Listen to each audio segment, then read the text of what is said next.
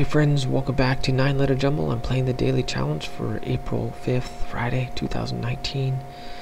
Uh, T R I C E D, Triced. D I R E C T, Direct. D I R E C T, Direct. Okay, uh, T I R E D, no. Credit, C there we go. Thanks for watching, everyone. We'll see you tomorrow.